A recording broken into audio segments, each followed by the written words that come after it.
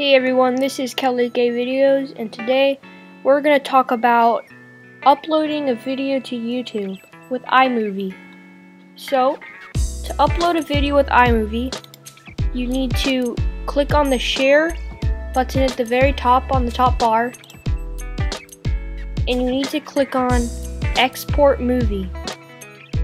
It will then download your movie to your desktop, and then can go to YouTube